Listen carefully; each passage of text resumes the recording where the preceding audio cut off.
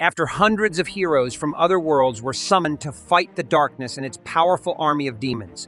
This young man was rejected as a hero and left in another world, abandoned in the farthest corners of the kingdom by a cruel king who only wanted to be rid of him. The fate of this hero seems very bleak, but what will happen when he discovers that he has a hidden supernatural power that manifests later? The episode begins when this hero is summoned to this world as candidate number 98. They say, Welcome, Hero Banaza, to our magical land of Krayrod. Please come here. He asks where he is and what this place exactly is. Where am I? I was in the loading area. What is my purpose? What is my job? This girl speaks to him and says, Sir Banaza, the other candidate hero will be summoned soon. Come here quickly. He asks who this other person is, and she tells him, I will show you how to measure your power using the crystal ball. He is surprised to find that he has a power and says to her, There is something wrong in this place. Despite you saying that I am a huge candidate, I am just an assistant. She tells him, You may not know that there is a hidden power within you. Come and take a look at our land, Crayrod. Then she asks him what kind of country he lived in, because our country is in a completely different world altogether. After all, he opens the window and sees the beauty of this country. He marvels and says, I have never heard of a country known by this name. I wonder if it is trading relations with another country or what. Then he says to himself, It seems that I am in a different world from the one I was in. Then this girl speaks and says, Because of the long battles against the army of demons, the kingdom was on the verge of collapse, and everything was about to bow down to it. So our city decided to summon heroes from a different world. These heroes are capable of defeating the Demon King and resisting the invasion. He says to her, I really don't know about that, but isn't it better to appoint someone strong as a hero only from this country? After that, he enters this room, the room where all the wizards are gathered, surrounded by the crystal ball. The girl says those who have been brought to this world from another world are given blessings from heaven and are granted skills that no one else can obtain. Then she tells him this is the way from here. And indeed, he stands before this crystal. Then, afterward, the magical crystal begins to glow, revealing that his power is very weak. Energy 9, Defense 8, Ability 6, Magical Strength 1, and he has no supernatural abilities. The girl is shocked and says to him, You don't possess life force or any supernatural power. These are abilities of an average adult male, and you don't have any extraordinary abilities. Then Banaza speaks and says, This is true. I told you I'm just a merchant. The wizards around them consider this a great failure and demand to return this failure to his world immediately.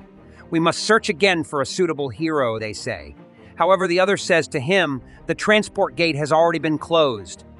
Then we see this servant girl who says, a legendary man similar to you with powers exceeding 999 in magic energy and physical strength has appeared.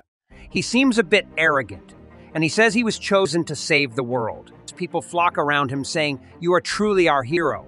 Please wait, save us. We will be saved by this hero. We were told that the hero will save us all.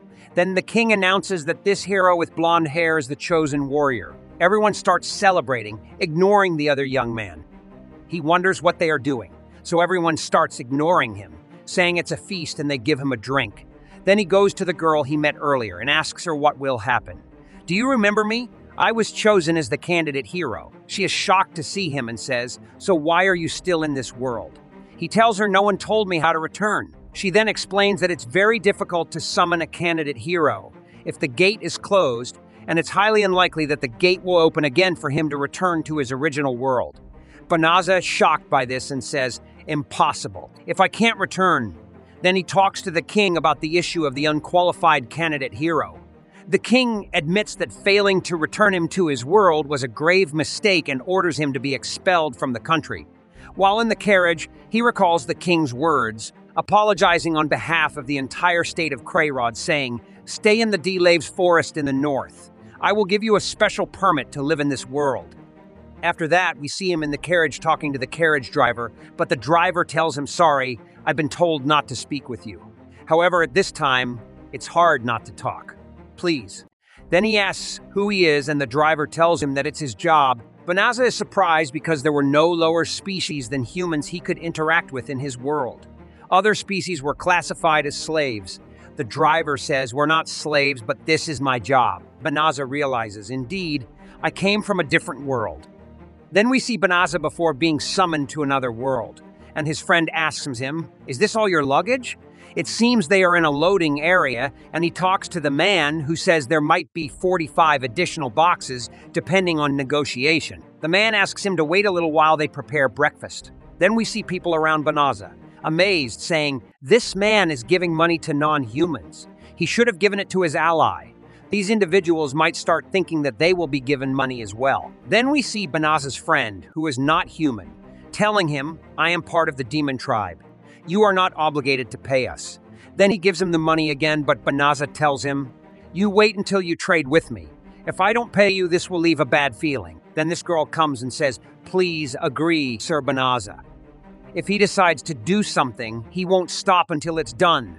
Then we see different species rejoicing over what Banaza did, saying, We will all follow Mr. Banaza. They are pleased with him. Then Banaza speaks to the girl named Quinn and says, You saved me. She replies, I always help you, don't I? But we see humans around him upset about what Banaza is doing because he treats other species well. Banaza thinks to himself, I wonder if there is a world without discrimination between humans and other species. Then we see Quinn saying, There are a few people in the kingdom who say that. People don't want others to invest in anything. Banaza says, I don't think it's strange. You have friends of different kinds. Then a strong glow appears and Banaza disappears from this world, astonishing Quinn because she doesn't see him anymore.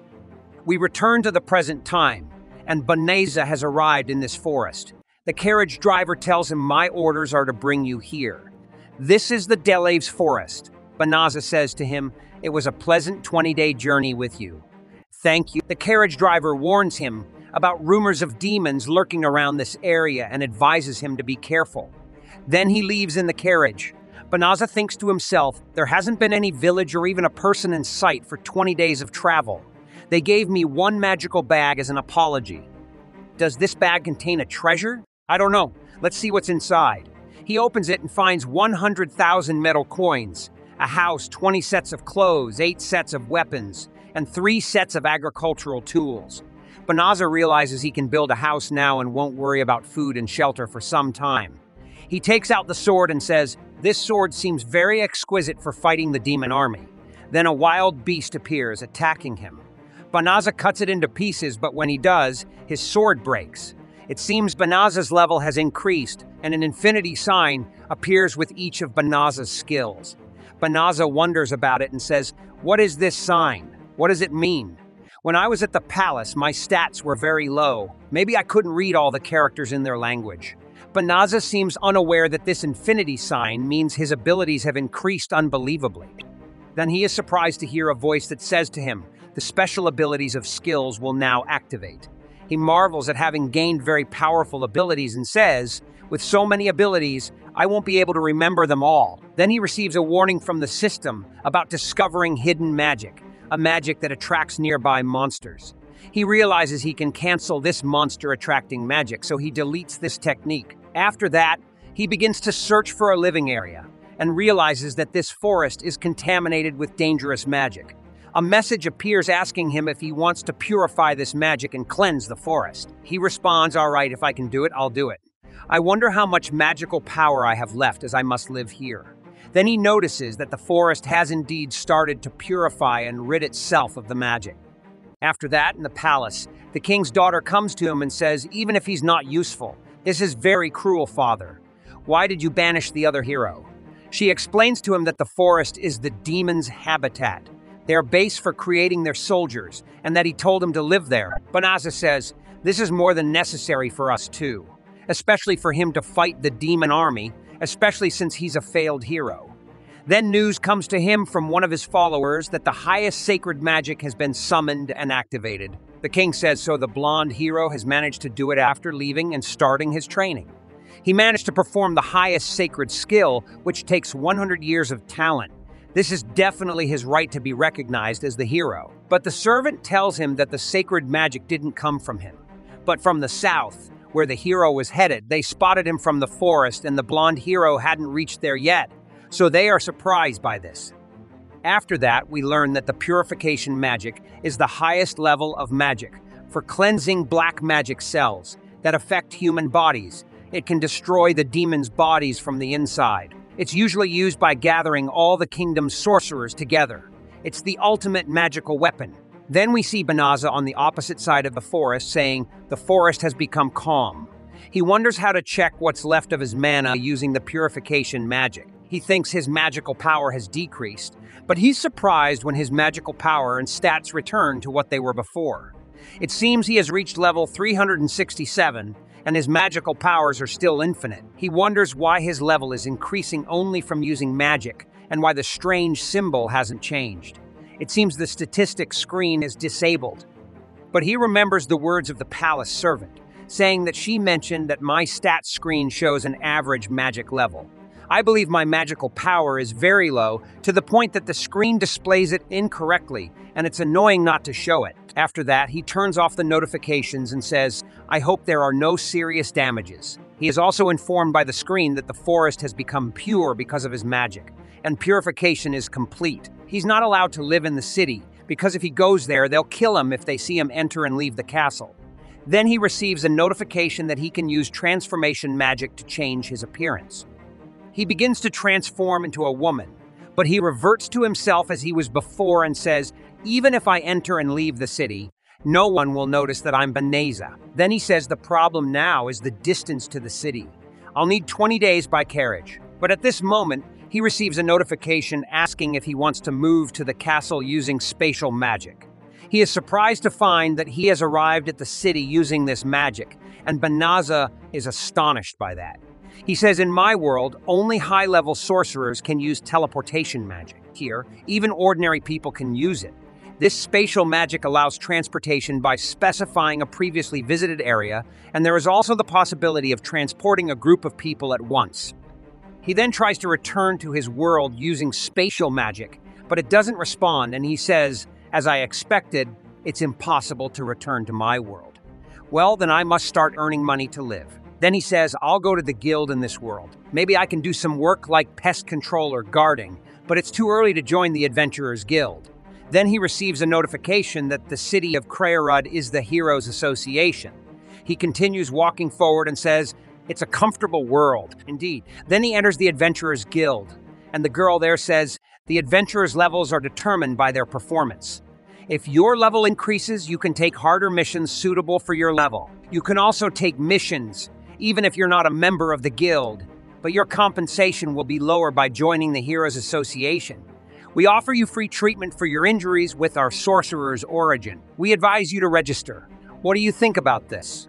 Banaza says the guild structure is similar to what exists in my world. Then he agrees with her, and she says, Okay, please pay one silver coin as a registration fee. He says, I haven't received any silver coins from the palace. Is it possible to pay with a gold coin? She says, Yes, there's no problem. Does a gold coin equal 10 silver coins? It's difficult to accept this money since I haven't worked to deserve it. Then she asks him what his name is, and he remembers the words of the palace servant that even if he changes his appearance, if he carries the same name, it will be a problem. So he tells her, Register my name as Folio. After that, this little girl appears to him and asks him, Can you guard me until I reach the Delafaza forest? I want a personal guard. The adventurers around him reply, Little girl, no one wants to go on a 20 day journey. If you have a carriage and provide food, I'm ready to accept your request. Folio hears this conversation and says, Isn't this the forest I was in before? Then he goes to meet the girl and asks her, Do you mind if I take you there? She responds, The reward you offered isn't high. Is this suitable for you? He says, Okay, I've been to the Delafaza forest before. If you just want to go, I can send you there using spatial magic. These adventurers are astonished by that and say it's impossible for this little guy to use teleportation magic. He should have thought of a better lie.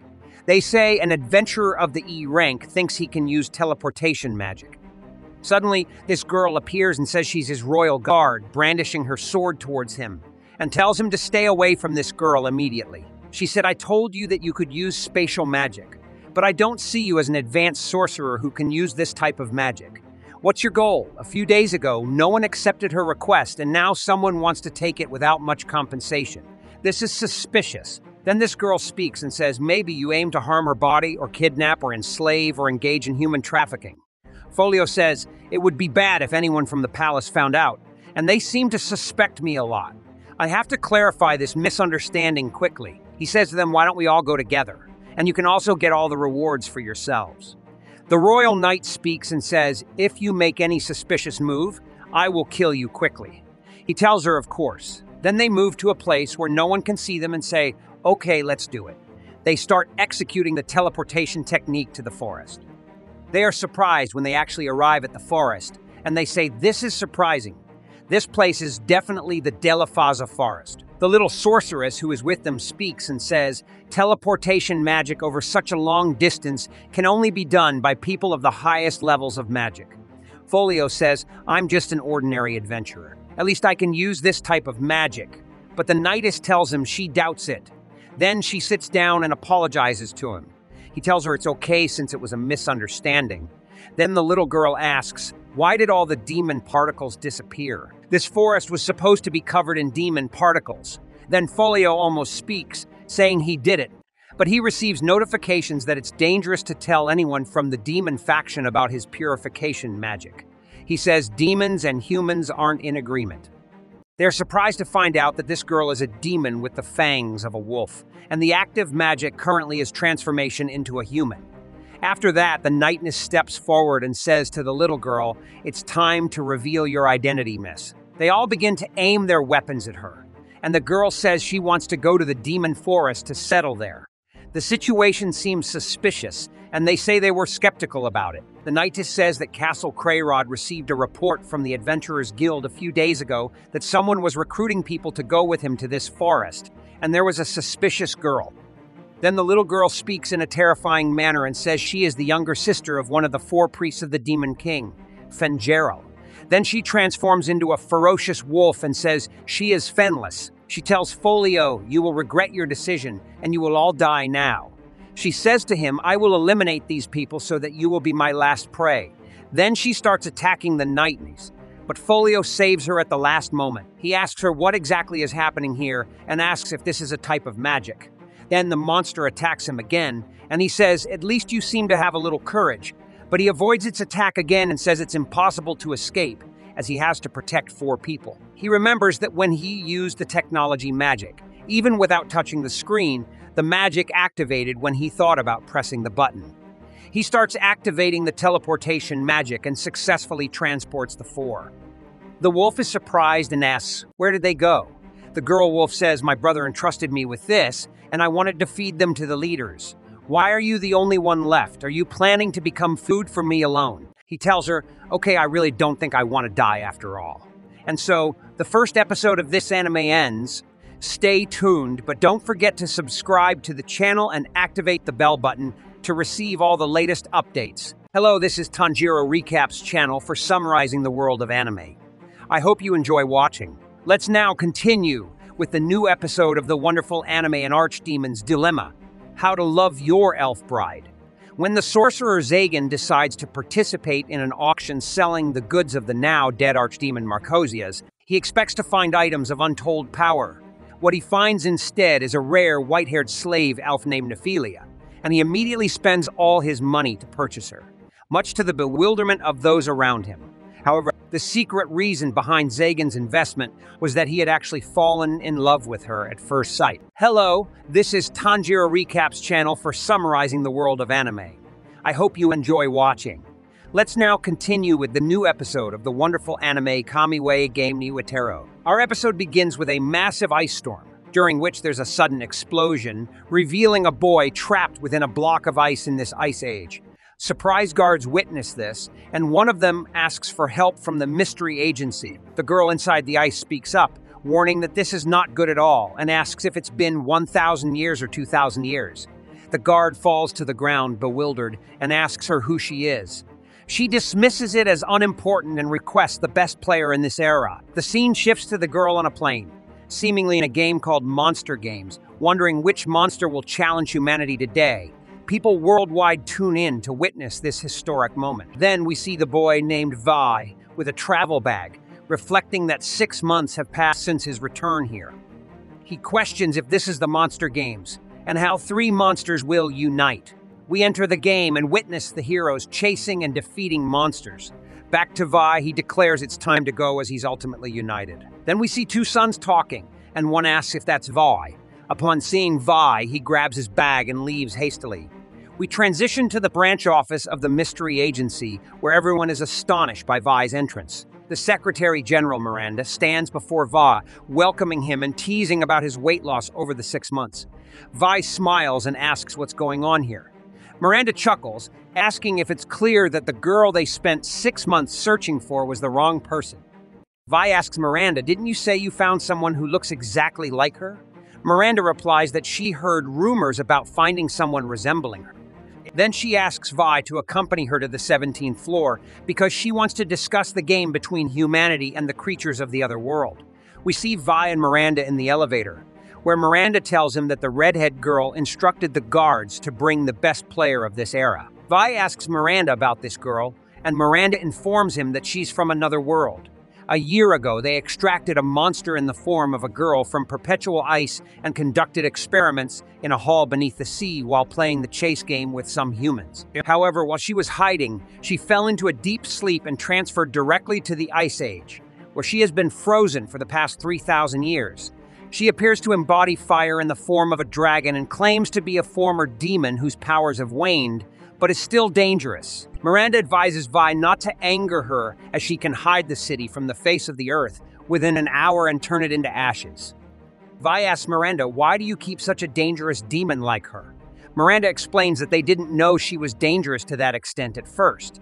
They reach the 17th floor, and Miranda informs Vi that he will be monitoring the girl. As they walk together, Miranda tells him about higher spiritual beings descending to Earth but they still don't know the reason. They stand in front of the girl's door, and Miranda tells Vi that she wants to understand why the girl is still here, but they must not anger her when they enter to avoid getting into serious trouble. That's why Vi is perfect for this task, as he's the only one who can do it without risking death. Vi asks if that's because he can't die, and Miranda confirms, explaining that the monster's power is immense and they can easily destroy humans so she requested him because he possesses abilities that prevent him from dying. Miranda then opens the door and looks at Vi, telling him he'll have to show off a bit, but not to worry. He won't be alone. They enter the room filled with various games, and Vi remarks that the girl seems to love games a lot. Then Vi approaches the game and takes the dice, saying four and six. He rolls the dice, and we see that both dice show four and six, as Vi said. Miranda is surprised and asks if it's a coincidence. Vi explains to her that it's easy for him. He just ensures that the desired side of the numbers is facing up before tossing them with enough force to make them flip halfway in the air. Suddenly, the redhead girl named Ryorisu Sama appears, and Vi seems to reminisce about the past, where she appears to have been his teacher. Then we return to reality, and the girl asks Miranda about this boy, Miranda informs her that he's the best player in the era she requested, having won three games since last year, making him an elite. He's appointed as the supervisor from today onwards. During their conversation, we see Vei looking very surprised and silent. He remarks that the girl resembles his teacher a lot. Ruru Su then asks if he's all right. Miranda informs them that she needs to get back to work and suggests they get to know each other. She puts her hand on Vi's shoulder, telling him not to ruin his new supervisor position. Then she approaches Ryorisu and tells her that they're going to play a game. Vi asks why they don't introduce themselves first. He hopes they can get to know each other since he'll be supervising them. Ryorisu tells him that they'll get to know each other through the game. We see them standing in front of the table, starting the game. There are many cards on the table, each with a question written on it, such as age, name, birthplace, hobbies, and dreams. Ryorisu tells Vi that she named this game Self Introduction Memory, and the rules are the same as a regular memory game, but instead of matching numbers, they'll match self introduction topics. For example, if they match birthplace, they should answer with their birthplace, and if there's no match, there's no need to answer. She gathers all the cards and shuffles them again. Vi asks why she's shuffling the cards when they were all face up on the table. Ryorisu is surprised and asks him if he remembers the position of every card and saw how she shuffled them. Vi tells her that it's one of his habits, as he was trained by someone until death to play games. Ryorisu looks at him and says she's impressed, especially by his unwillingness to cheat, as he remembered all the cards and wanted to play fairly. In that case, maybe they shouldn't play this game on such a small table. Then she looks at the cards in her hand and orders them to spin. Suddenly, all the cards start spinning in the air, surprising Vi greatly. He asks if all the cards move in different orbits and speeds. Ryorisu explains that each card has a different orbit, so they don't know how they'll wrap around, making it more fun. Vi looks at the cards and talks to himself, saying that once he reveals a card, he'll never forget its position, just like her. So she added a rule to keep changing the positions of the cards. Ryorisu tells Vi that she wants to add a special rule. The one-turn rule. In a typical memory game, we usually get another turn if we match a pair. But in this game, that won't happen. Vi remarks that among all the games, this rule will be annoying, meaning it's no longer just a memory game. They start the game, and the scene shifts to Miranda sitting in her office, watching Vei and Ryorisu through surveillance cameras. She comments that the game has begun. Then we return to Vi and Ryorisu, where Ryorisu tells him he can start first. Vi chooses two cards and sees that they have birthplace and blood type written on them. He wonders if demons inherently have blood. Ryorisu tells him that their blood is hotter than magma, and if there's even a single drop, this whole building will melt. If he wants to know more, he should make sure to match the blood type cards. Then it's Ryorisu's turn, and she chooses two cards. We see that they have birthplace and name written on them, so there's no match. She looks at Vi and informs him that they've just drawn the birthplace cards. Vi tells her that the card she just drew is behind him, as it's the second card from the back among the four cards they flipped previously, and its position is the third from the right among the six cards spinning by the window. Then Vei draws the cards, and we see that the two matching cards both have birthplace written on them. Ryorisu gets excited and tells him that she'll answer, and all the gods share the same answer. She tells him that she was from Elements, a place humans call the spiritual dimension. It's a place where non human entities reside, and humans need a special gate to enter there. Vi tells her that he knows about it as he used it six months ago. Then we see Miranda informing us that the monsters are thirsty for games because they feel bored. They gave the arises to humans so they could challenge them in games. Humans who receive the arises from monsters become messengers and can challenge monsters in battles of wit, either using superhuman or magical powers. All monster games will take place in elements. As a reward for winning a game, messengers can use a portion of their arises in the real world. This power is essential for exploring undiscovered lands, as 93 of the world is hostile and unexplored. In monster games, messengers lose their right to play after three losses and get terminated after 10 victories. The humanity is tasked with ending the game but so far no human has achieved that feat. Then the scene shifts back to Vi, who tells Ryorisu that he was slightly surprised by her lack of hesitation in answering. Ryorisu tells Vi that it's just one of the rules of the game. Rules aren't just restrictions. Then it's Ryorisu's turn to draw two cards, and we see that the cards have name written on them. She asks Vi about his name, and he tells her that his name is Vei Theo Phelps, brought to her by the Secretary General Miranda.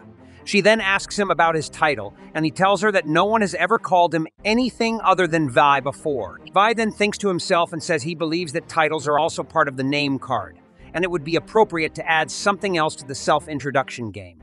He wonders what question could come to mind from the matching cards. If you're smart enough, you can extend the scope of questions as you wish, but this isn't just a card drawing game. Even if you know where the cards are, not selecting some cards will lead to my victory. This is a game of information where we have choices in each turn, and I'm confident I know where the cards I need are. All that's left is what you're aiming for. Then it's Ryorisu's turn, but the two cards she draws have nothing written on them, meaning anyone who gets them can ask any question they want. Then Ryoishi looked at the two papers and asked him if he remembered their first promise. Then suddenly her eyes shifted and she asked him what the real reason behind his attempt to get close to her was. Faye is very surprised and Ryoishi asks him to answer, because she won't allow him to lie in answering my question. So Faye thinks to himself that she is a real devil indeed. Then he remembers memories from the past and says that all games are fun if you have someone to play with. They had the same goal from the beginning while they were playing the game normally, and they were actually aiming for the two wild cards.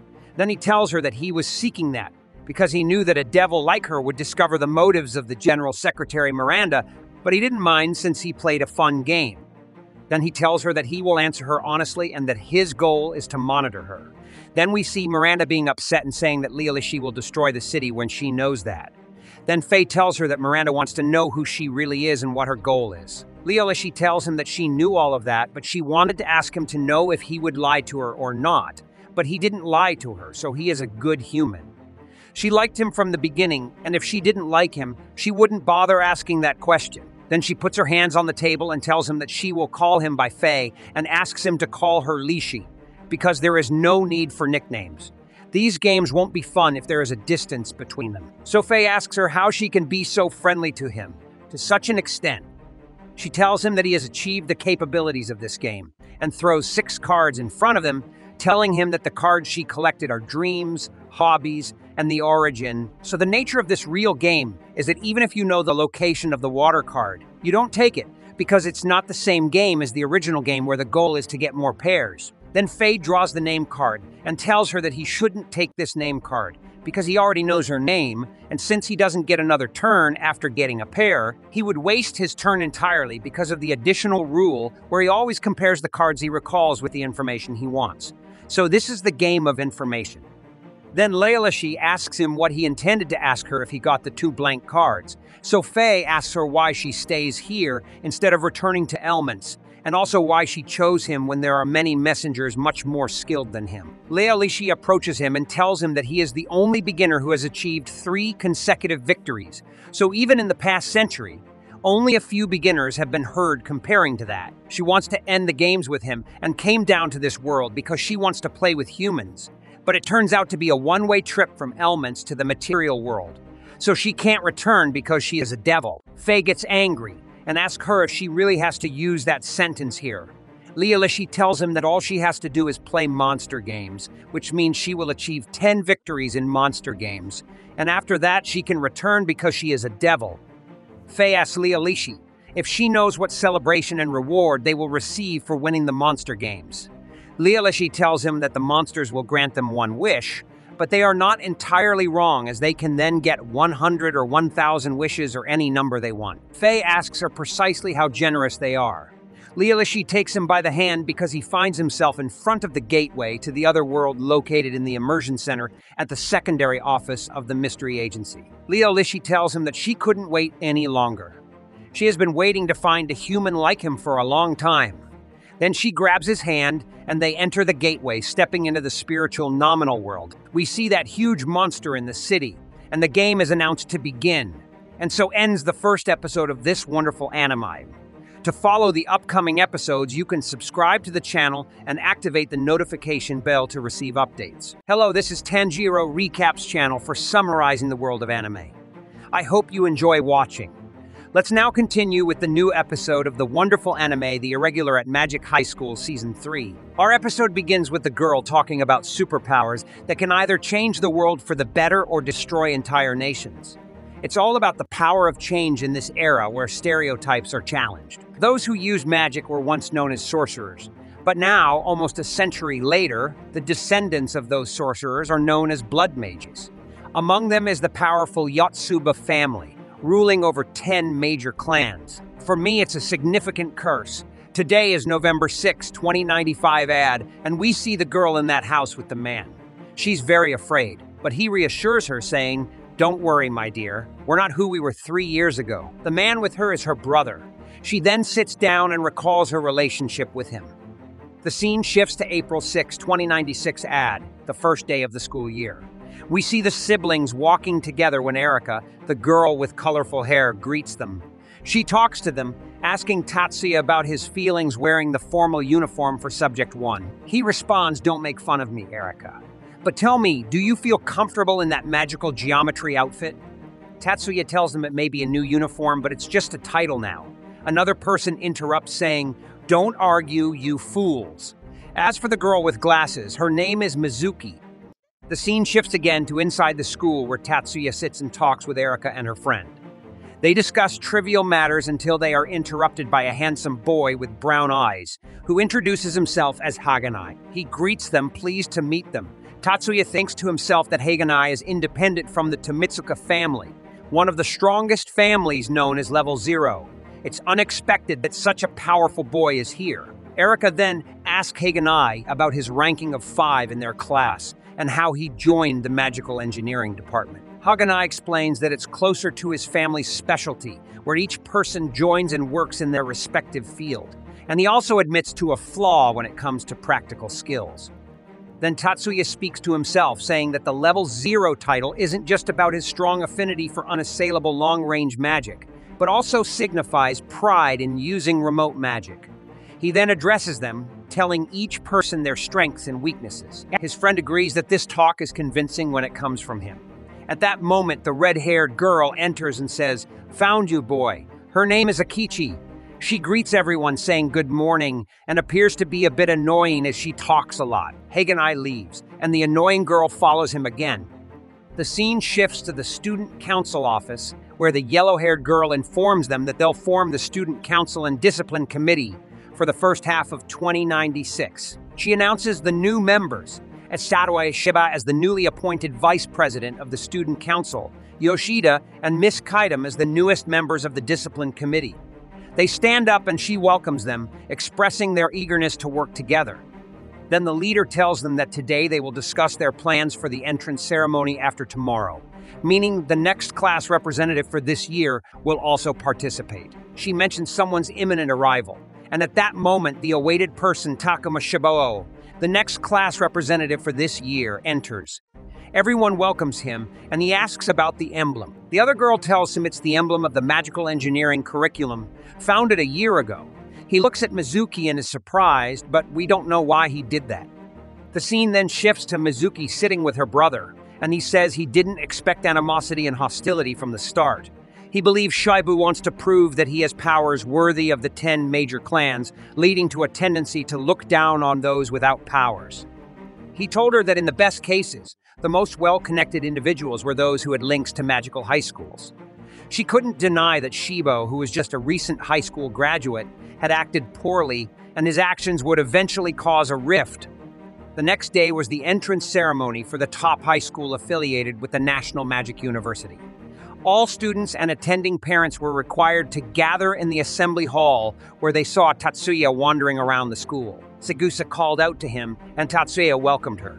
She asked if he helped new students, but it had been less than a month since he graduated, and she almost didn't recognize him in his new magical engineering school uniform, completely different from the previous year. She told him that only his official uniform had changed. She refuted his statement and said that everything had changed. He seemed much freer than last year. Tatsuya didn't notice because one can't discern the changes in oneself. Tatsuya replied that she had changed a lot too. Now, she was a college student and seemed very mature like a different person. The girl was embarrassed by his words and asked what he meant by her being different. Tatsuya told her he didn't mean anything specific. It was just talk. The girl got angry, wanting to hit him, but her sister rushed to him to stop anything from happening to him. She tried to hit him but couldn't, so he grabbed her by the foot and threw her to the ground. However, she used her strength to prevent harm. Her sister rushed to her to make sure she was okay, finding her very angry at Tatsuya, thinking he wanted to hurt her sister. Saegusa approached her sister and asked her to calm down. Nothing happened to her, and Saegusa apologized to her friend Tatsuya for her younger sister's behavior then asked her sister to apologize to him as well, which she did. Tatsuya said to them, I knew from the beginning that you were planning to stop before the injury occurred. Tatsuya's sister then approached Saegusa and asked, What brought you here today? Saegusa replied, I'm actually here to take care of my sister, and she asked her siblings to welcome Miss Miyuki. We see Izumi looking at Miyuki, impressed by her appearance. Izumi greets Miyuki and says, I had the honor of witnessing your heroic deeds during the Nine Schools competition. You were incredibly amazing. But seeing you in person, compared to watching you from the stands, you're a hundred times more beautiful. I can't believe I attend the same school as someone like you. I'm extremely excited. Izumi asks Miyuki to be her elder sister, surprising everyone with a request. Miyuki's sister then says, Manami, I think it's impossible for you to become the younger sister of my elder sister. You can accompany my younger sister with my elder brother. If my elder sister marries my brother, then you can accompany my elder brother Tatsuya legally. Izumi becomes upset, saying, I oppose the idea of my elder sister marrying Tatsuya. Kasumi, along with Saegusa, requests to marry him, seeing it as a golden opportunity for Miyuki to become her elder sister. Saegusa becomes upset and hits them. then apologizes to Tatsuya and Miyuki for her sister.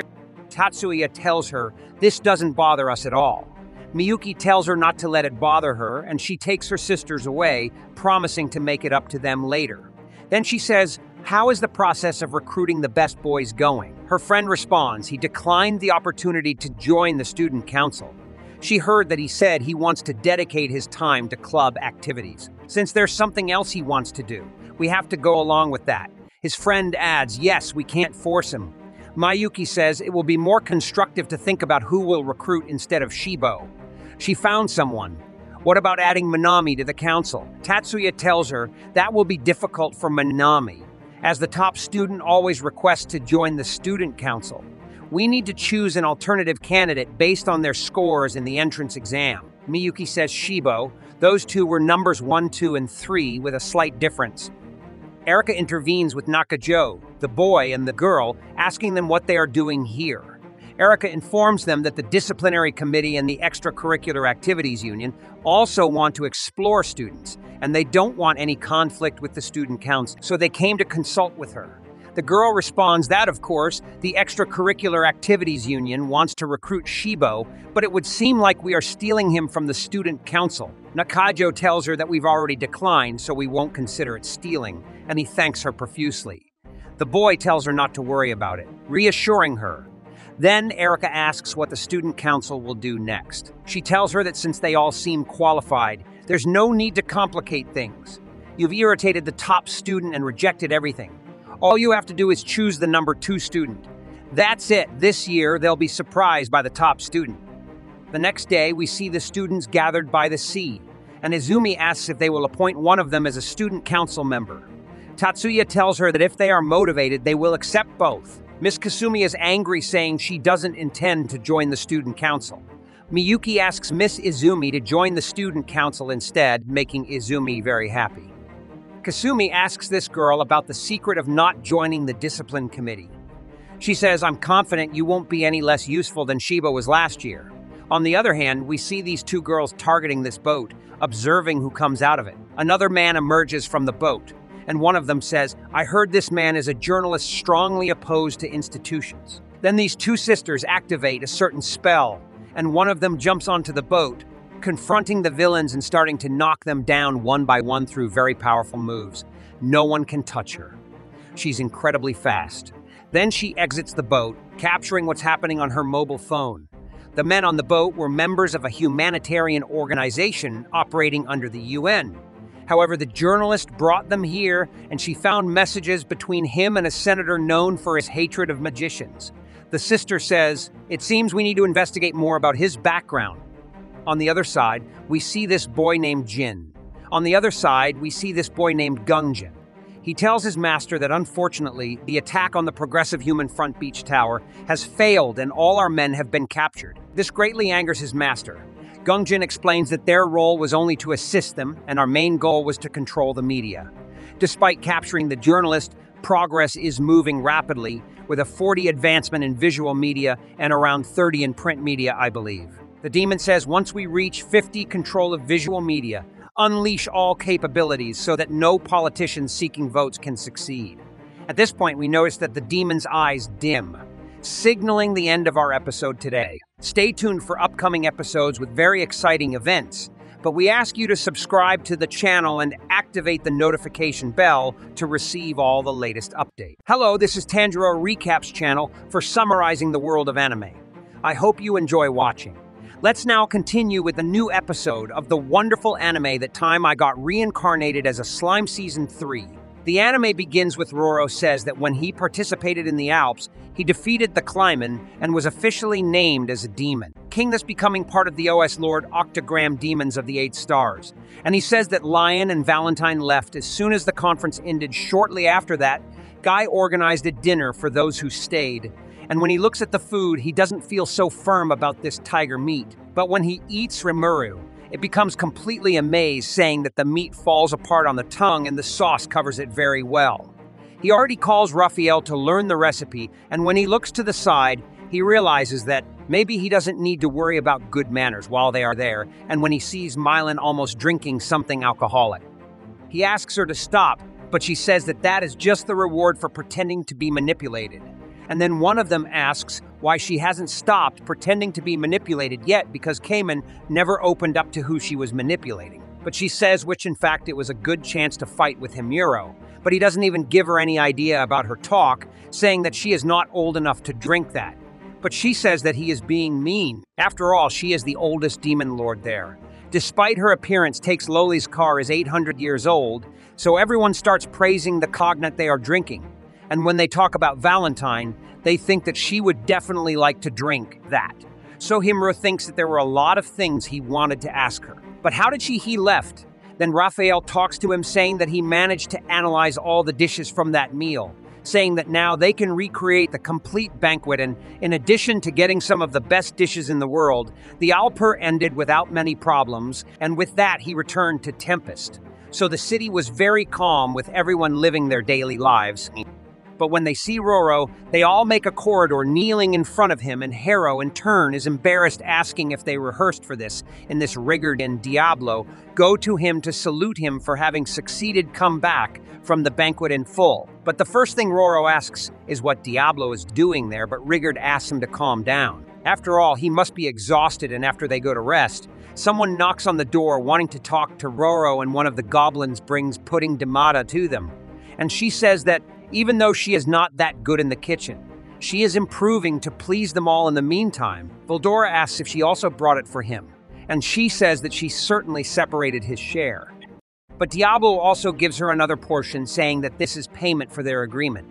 Then Ramiro asks if Diablo wouldn't eat, but he says that this is payment for the information he gave him and connecting the dots. He then looks at Veldora and he tries to hide it, and Roro finally understands how Diablo knew everything that was decided in the warehouse. He immediately asks about the desserts he would have sold and ends up agreeing that there were three, but Ruro is curious. After all, Veldor doesn't even need to eat, but Veldora asks him not to confuse things because it's not a question of whether he needs it or not, eat he wants to eat. He says that besides, Ramiro doesn't need to eat either, but even so, he's eating it. Diablo remembers that Exio was accompanying Ramiro during that meeting, she says. Yes, she proved that Ramiro doesn't need him while he had her, and Shion leaves it aside, asking if he managed to complete the task that Himuro gave him. He just laughs, saying that he completed it perfectly. But Ruro says he can't understand how he managed to come back at such exact time. But Diablo says he was taking care of other things. But Veldora contacted him and advised him to return, and with that, Veldora starts to tremble and wants to leave. But Roro holds him back, giving him a rather terrifying massage. So he shouts, telling the dragon not to disturb the work of others. And so he takes the pudding from his hand, saying that there are no sweets for Veldora from now on. And then he tells Haruna that Veldora is going to be without dessert. For a while, and with that, Veldora starts calling Ramiro cruel. And then he is all cowered in a corner, and Himiro asks Diablo, if it's not a problem that he's wasting time there, and Shin even makes fun of him, saying that there's nothing better for a butler than serving tea, but Diablo says he doesn't need that. After all, his informant is already acting for him. He says that to begin with. He transformed, they return to their original form, and he says he did it because it was inconvenient to leave them with pieces of meat, and Ruro wonders what he's talking about. But he soon remembers this subject, and Diablo says that Shion really is a troublemaker while looking to a box full of pieces of people. He says that even healing magic won't work for those people. So he's going to have to take somewhat drastic measures and ask them to hold on, and after a session of a lot of screaming, one of those in the other carriage wonders. Those three arrived in one piece, but one of them says that they weren't in one piece since they left. So while one of them starts to thank Diablo, he talks to the other, wanting to fix him too. But the same man tells him to fix the king. First, him and Diablo remembers him being Hezin, one of the prisoners. He tells the prisoner that he must know that asking him for a favor has a very high price, and the prisoner in turn remembers him saying that he is nor one of the seven primordial demons. But he says that the scariest thing is that this demon serves someone, and he remembers Humuro talking to Shion, realizing that he is a demon lord who has a hidden power that, although fleeting, surpasses imagination, and he says that at that moment he ended up realizing that the kingdom of FMF awakened a sleeping lion, and soon after Reimer left, he met Shin's wrath. So the prisoner starts asking Diablo to accept him as his lowest ranking servant, in which he starts trying to bargain, trying to ask for the life of the their king, and so Diablo even accepts. But he says that he will no longer tolerate any more respect towards Himuro Sama. And he says that if he notices any kind of hostility towards Rimuru, not only will the king's life end, but he will see the breath of life disappear from the land of Mur itself. So he accepts swearing, total loyalty, and the bishop, who was there with them, also accepts this. And the king, who is in pieces, starts to remember Shion scolding him, because because of them, Roro's hand was soiled with human blood. He realizes that Heisen's decision was probably the right one, and he himself speaks like the last king of Ovi, who swears to cooperate in any way to stay on Diablo's side, and Diablo says that as long as he obeys him, he will treat him well. After all, with his unique tempting ability, no one can betray him. He doesn't start calling Alo asking if the prisoners are alive, he tells him not to worry. After all, the mission of taking over a country is trivial compared to everything else, and when he arrives at the palace, they notice that no magic can bring the king back. And they ask what is happening, and Shogo says that to protect the king. He cooperated with a great hero to escape, and not even that he says that it is not Shogo but Rising. And everyone starts asking various things about what would have happened until someone asks everyone to calm down and first listen to what Ryan has to say. Then he speaks. Everyone starts to ask if they all disappeared, and if it would be true, and with that, he says that his army's battle against the monsters has awakened a sleeping dragon. But they say that the Holy Church of the West said that the dragon was destroyed, and Ryan says that it really was destroyed. But even so, the concept of the dragon does not die. He says that the dragon is simply reborn in another place in the world. And he says who didn't expect him to return so soon, or that a place would appear so close to them and he says that with Veldora's return, all the knights and monsters in that area disappeared. He says that they were the only ones to return. So Yam enters the room, but one of them starts asking who let these commoners enter the room. But Ryan says that they were the ones who saved them, and so the archbishop asks to be able to explain what happened, and he says that when the armies met the battle, that Clody was very intense, and he says that they they had a numerical advantage but the monsters knew the region better than them, and because of this, many of their men were lost. He says that the sea that followed must have been the key to Vora's resurrection. So, with the destruction of the dragon, they begin to invent a story that someone stopped in front of them to save them. That someone was the leader of the monsters, Himuro Sama. They keep inventing a story, putting Himuro as if he were a hero who saved them all, and then asks if Himuro managed to talk to the dragon. They say that having even the slightest contact with the dragon's strong magic is death for almost every type of living organism. He says that, as he should know, Rimuru is the leader of all the Moans in the forest. He swears, but they ask you if it wasn't. The false title that he himself gave to be. And with that, Ryan starts to tremble. After all, Diablo is there listening to everything. He says that certainly not. After all, he himself saw the city of monsters, and he says that it was certainly truly worthy of being called of capital of a nation. And he says that even the Dryads, the guardians of the great Jurassic forest, serve him, and he says that it was through the Adrad that Himuro managed to negotiate with Veldora. So they realize that he controls even the Dryads. They say they are so powerful. Surely they won't want to have him as an enemy. So Yom asks him to calm down and after all he worked with Hymor when he defeated the Lordaerer, then he says that Hymor is very friendly and wants to live in harmony with humans. So he starts saying that he can serve as a mediator and convey your demands to him. Masum says he is friendly in normal situations, but not now. After all, they declared war on Hymor's nation, and he says that that was definitely a bad idea. Some of Himuro's friends died because of it. However, that same annoying guy starts to say that if he has influence with Roro, he must fulfill their purposes. He says that it is his duty as a great hero to mediate for them, and in the meantime, Diablo is pissed off after them. But the man starts to say that they sent people from another world to make a mess in their house. He went there to try to make peace and fix the SNTS7ZZ. And they did, and the man even tries to continue arguing, but Risen ends up freezing him, saying that he has no idea about what they went through. Then, they were straight to the point that everything Yam said is true. They were defeated, and the only survivors were the three of them, and the king was like that after finding the Vidora particles. Hmm, and they are in shock with this discovery. And without having a lot to do, they end up agreeing with Yom, and Diablo says that this was a very wise decision and now committed. He is going to free the king of this nation, and they ask who he is while threatening him. He ends up saying that he is Rimuru's butler. This, while throws a healing potion on the king. They ask what that is, and he says that it is one of his nation's specialties, the best healing potion the world has ever seen. And after healing the king, he says that he has a hero message for this nation, and he says that in a week, representatives of our nations will come together on this land to discuss peace. And he says that he will give you options, option one being the king, abdicating the throne, and you pay compensation, option two.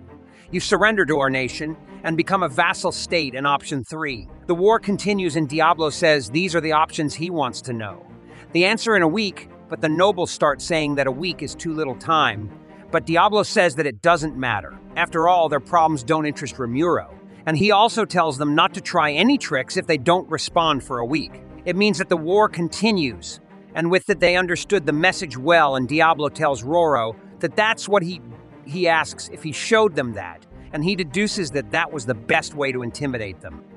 He says that as compensation, he asked for 10,000 stellar gold coins, and Roro asks if he's not asking for too much, but Diablo says he gave three choices to them, being that continuing the war is impossible, given that his army was destroyed, and it is obvious that his nobles are opposed to Poro becoming the vassal state. So he says that there is only one choice left for them, and that would be to negotiate. So Or suggests that they pay 10 years or if they don't try other terms. But Diablo says that the kingdom of FMF will have no choice but to accept his terms. But they will try to place the blame on third states, and after all this plan, he will end up not being able to use the currency because Estellaire gold coins cannot be accepted due to their exorbitant value, and the third party who will be held responsible will probably be the king now that his royal knights are gone, is to join Holmes' faction and let him control everything. So Diablo says that his deduction is completely correct, and he says that they just need to lend some forces to Yom and Roro asks if that would work. After all, the next king could end up joining forces with the neighboring nations. But he says that the neighboring nations are busy gathering their own influence. So that wouldn't happen. But even if it happens, Diablo says he will take care of it personally. And Ruro says that this is excellent and will leave everything up to him, telling him to get in touch. If it happens something and Diablo is very happy with it, and morally a lot happened, and I'm sure this season is going to be very good. I hope there are 25 episodes and I want to see a lot of Friol, and I want to see how far he goes. So if you want more episodes, leave a like, subscribe, and I'll stay here.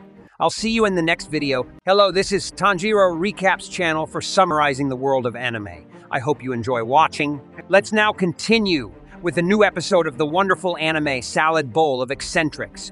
Sosuke Kaburaya, an impoverished detective, meets Sarah, a princess from another world with magical powers. They start living together, and Sarah quickly adjusts her life to modern Japan. Two girls run frantically through the territory of the Ophim Empire, set in the former Demon King's castle, until Livia Deudes draws her blade to deal with assailants. She holds them off and ushers Princess Sarah Day Deoden to run. And when the attackers approach, Livia fights back with her pride in the Eudes family's long history of defending the imperial family. Nevertheless, she somewhat botched blowing Sarah's cover since the assailants were unaware. At first, she was the princess. However, it didn't matter because Livia showed off her skill by unleashing a barrage. Sarah ran until she reached the portal leading to a different world, her destination. And even though it appeared risky, she leaped straight in, starting her Isekai journey. Next, we relocate to the Gifu Prefecture's Gifu City a location that flourished as Oda Nobunaga's residence during the Sengoku period. Since then, it has blended into the background of the city. Sukekareya, a 29-year-old detective in the city, is both unremarkable and ordinary. He claimed that's not me. The office worker Koji Takemoto is his current target. His spouse is the client. She believes he is having an affair since he has been acting strangely for the past few months. After three days of following him, Sokse is hoping to catch something soon, as he chases his target, a portal opens above Soka, allowing Princess Sarah Shees to emerge. She is only slightly taken aback by the sight of another world and apologizes equally mildly for landing on this man. Oh no, Sosuke is taken aback by the girl. Without showing any empathy, he lost his target and gashed his hand. She tells Sosuke not to worry about a small cut on his body. As she applies a light touch to heal it, and after dabbing away the blood, he's shocked to see that the wound is healed completely. Relaxing on a park bench following a conversation with Suki, Sarah is aware that she has been transported to a world devoid of magic. She introduces herself to Soke as the seventh princess of the Ophium Empire, which fled to this world after being overthrown by a rebellion. The fact that she healed his hand made him believe her isekai story without any difficulty. But she questions how she managed to speak Japanese, thinking maybe she was given a translation spell as she went through the entryway, when she asks if she can use any magic besides healing, Sosuke must not have expected her to blow up a playground structure right away. That was only a taste of her specialty magic attack. She declares with pride, and she could easily summon explosions even bigger than this. But Sosuke grabs her and drags her away while yelling at her, telling her they must leave. She needs to get over her fantasy sensibilities if she hopes to reside in this nation. Livia eventually drove the assailants away when she returned to the Ophium Empire and used the portal to follow her princess in this novel world. It appears to be very different from the Empire, in her opinion. When she approaches a couple to ask for assistance, they start yelling. She discovers a reflection of herself and whoopsie, blood all over her. So, after taking a nice bath, she eats some fish that she caught in the Naga River.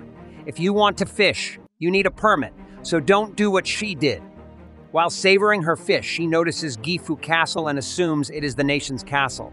She hopes to petition the Lord there and ask for Rain's assistance, then abruptly collapses, forcing her to seek refuge under a bridge. After our meeting with the bridge hobo Suzuki, we head to Sosuke's house, also known as the Kaburaya Detective Agency where Sarah is enjoying some noodles and Sosuke is attempting to decide what to do with her. When Sarah questions him about his work, she finds out that he is a private investigator who searches for people, runs background checks, and does a lot of other tasks. Sarah thinks his work is similar to that of a shinobi, but how is ninjas hell known to someone from a fantasy world? He wants her out by tomorrow, so let her stay for the night. She agrees, but upon her departure, she will have to erase his memories. However, it's not as simple as erasing her from his mind. He would probably lose memories spanning several weeks to years. In the worst case, he might turn into a total vegetable. The icing on the cake is that she has never attempted the spell before. To put it mildly, Sosuke was not at all excited by this. He asked her why she felt the need to erase his memories in the first place to which she responded that she might become a guinea pig if the scientists or intelligence services in this nation discovered that she could use magic. This makes perfect sense. Sarah tells him smugly that Susiks are seen in science fiction films. What will it be then? Will you expel me? Back under the bridge for the time being, forcing him to reluctantly take her in. Livia is taken aback to learn that Gifu Castle is empty, even though it's only a museum that has been meticulously restored to resemble the original Gifu castle. Suzuki gives her a cardboard bed to sleep on and wake up in. That was the best sleep she's had in a long time, she exclaims. Suzuki is surprised by this because, considering the trucks that pass by even at night, perhaps she is suited for being homeless. Regaining Sosuke's place. The two have eggs, rice, and natto for a cheap breakfast. Meanwhile, Sosuke has to listen to the news about an explosion that occurred in a park in Gifu City last night at around 8 p.m. The police are looking into whether the explosion was intentional or the result of an accident. Sarah laments that there isn't enough food in this world as she eats, but Sosuke has the 13 year old culprit eating in front of him. But Sosuke warns her not to interpret his food as a metaphor for this world. Many families eat far healthier. Sarah questions why their diet isn't better. Our private investigators truly paid so little.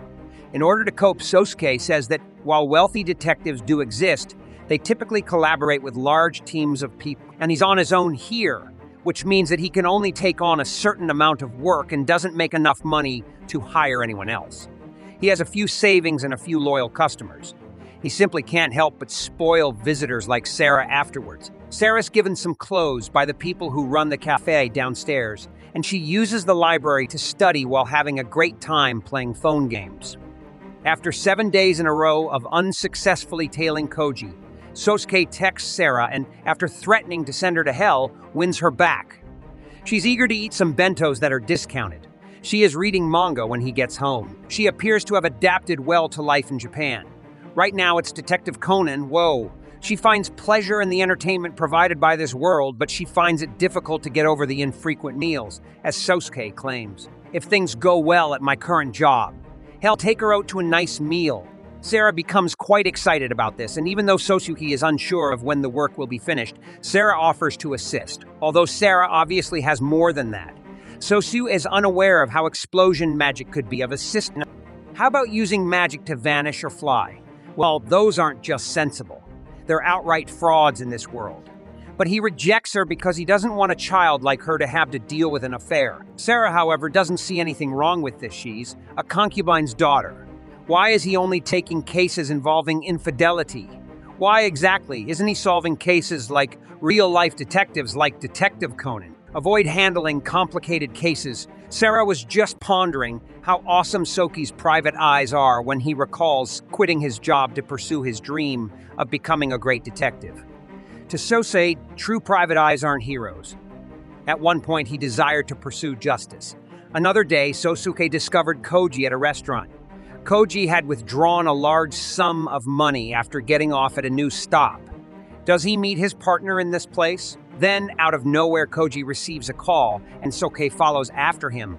They arrived at an abandoned structure where Koji gives some dubious, seeking for money from men and being rejected observing the happening. Sosuke believes it is evident. Koji is constantly being blackmailed for money by those guys.